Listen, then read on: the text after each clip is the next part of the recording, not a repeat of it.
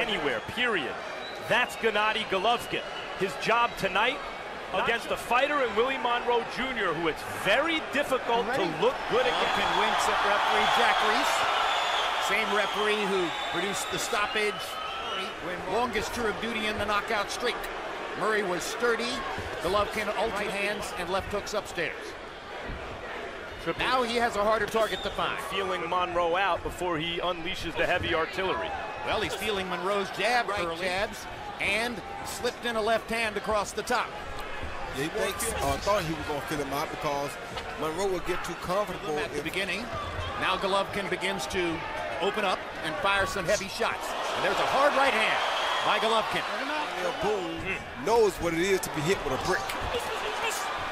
That's his only loss, Willie Monroe Jr. Come up through the ranks and fought Darnell Boone, has either lost or nearly lost. Golovkin landed a short right hand inside.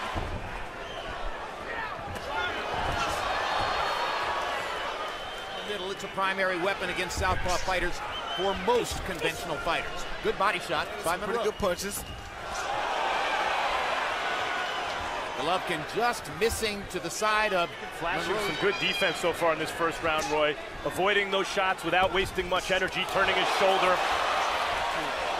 Avoid being hit by the big shots. I, I see so far Golovkin outboxing Monroe. Just because he's the guy coming forward, landing the heavy artillery doesn't mean he's... Golovkin's count has landed twice as many punches as Monroe in round number one.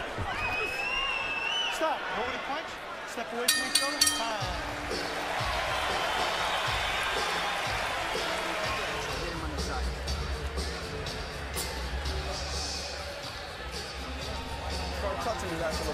That body.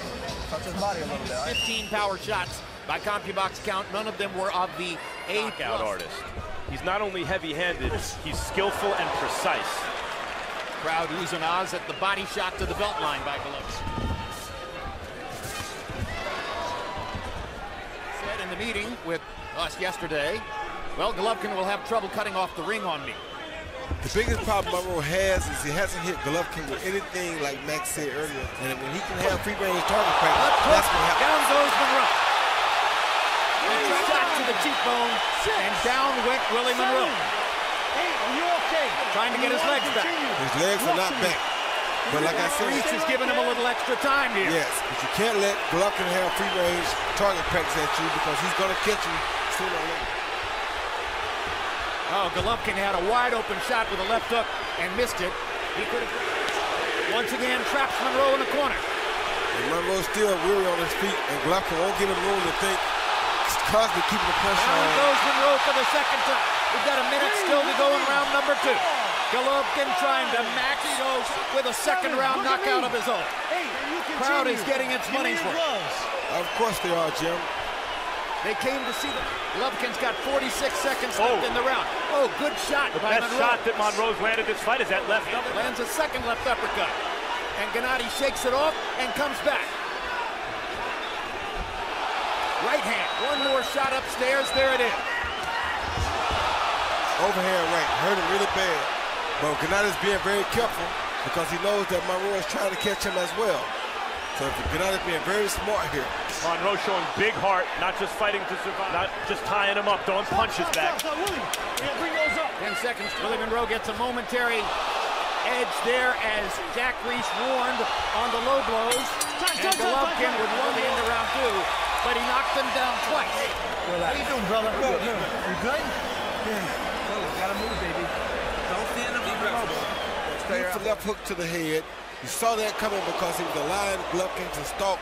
With in it, he can stalk like this. He's bound to catch you with something big soon. Beautiful left hook. Right Knocking. Monroe down twice, Golovkin landed Head 24 out of stays 50. up, and Triple G could counter the left hook. of the- combination possible because his head stays up and his Like hands that. go down. Yeah, he counters the, the right hook from Monroe, Monroe with his own left Monroe hook. land much of anything until Triple G hurt him. Monroe was hurt. I don't think it's that Monroe was hitting him with anything hard. He wasn't hitting him much, period. Triple G's defense has looked really good tonight. Some power on punches to get respect, or he won't be in this fight long. There you go. Yeah, Golovkin has been looking to the body this round, now throws two upstairs. that's nice body shot by Monroe Down. there. You have to make him respect you, or he'll continue to walk through your punches until he gets the knockout. Monroe getting his best offense in since Triple G hurt him. Hit your back at least. And you got to watch that left hook from Triple G because Triple G trying to set it up again. Hurt him. And he may be right about that. We know Golovkin cannot be. Took a couple of punches from Rubio and Curtis No, but these are not pity pats he's been throwing this round so far, Monroe. Well, and ripping to the body as well as he can. A couple of body shots of his own. And I think that was a good body shot by Golovkin just now. Landed for Gennady. Another straight right hand lands for Gennady. Leaping in to try to get Because when he comes up high to move, it's when he gives Gennady a chance to hit him. But movement is his game. I understand that. Moving and fight. Top punching. Makes it out of round three. Golovkin in the third round, 24 out of 56. Monroe, 14 out of 56. 24 landed punches were power shots. To fight in the middle of the ring, he's had more success. Well, he hit Gennady with a really good right hook to the body early, but he didn't follow it up. If he'd have followed it, make it tough for him. The minor upset already that Monroe's here firing back in the fourth round after the way he looked in that second. Big shots Monroe's hitting Golovkin That's with. exactly Clean. right. That's exactly right. He just looked at him and told him, come on. And sometimes that can be a confidence taker. He tells you to come on anyway. I don't care how good. Willie Monroe is putting forth here in round number four. Unreal. Yeah, the mongoose has a heart. He may not make it through the rest of the fight, but he certainly earned Guys. Golovkin respect. He Yes, is he flying. Great. Round four was a Herculean effort for Willie Monroe. landing a shot that I don't want to see, but you got to be a little busier. You can't let him work like that, all right? Throwing punches through a jab and followed with a beautiful straight left hand. Probably one of the hardest shots with a straight left hand. CompuBox numbers were very even in that round. Golovkin was 30 of 63. Monroe I agree with Harold. I mean, Uppercut lands for Golovkin. Seemed to hurt Willie Monroe. maybe academic, but Oh. Hook how to hurt hand hurt him really bad, Jim. And that's because he's not punching. When he's punching, he doesn't hunt you like this. Look at the hard left hand by Monroe. I Monroe. mean, Monroe is hitting Golovkin with where Golovkin's head is snapping and the sweat is flying. And Golovkin is in a fight. Don't get it. You can't let him just come at you free range or free will. You have to make him avoid you or avoid your power punches before he. Golovkin once again motioning to him like, come on, come on, keep firing. Those- Good one-two combination from Monroe. Up to like two dozen real hard taken in the last couple rounds. And Monroe has avoided, I mean, has abandoned the body attack, but he should have. Golovkin is just as tired as he is. Abel Sanchez wants more activity Appears to be visibly slowing down in the fifth round. Now he gets in two body shots. They've both done some good body work at points in this fight. And now Monroe against the ropes. This is where Golovkin has done damage before. Hard shot by Monroe. The ropes now. Yeah, but those pity pat punches will get him caught with a big shot if he's not careful. And you don't want to swap one big shot. He's making Gennady work though. Don't get it twisted. That's a shot that often does damage for him. Hard A lot right. Golovkin just to keep punching you like that. Golovkin got a little, went a little, instead of really working the body, and it may have preserved Monroe's legs for this point in the fight. In the last minute or so, Golovkin seems to have Now, you haven't been using the jab. I want to see a little better jab, even if at the shoulders. Keep close, moving your head, hands up, and dig his fucking ass.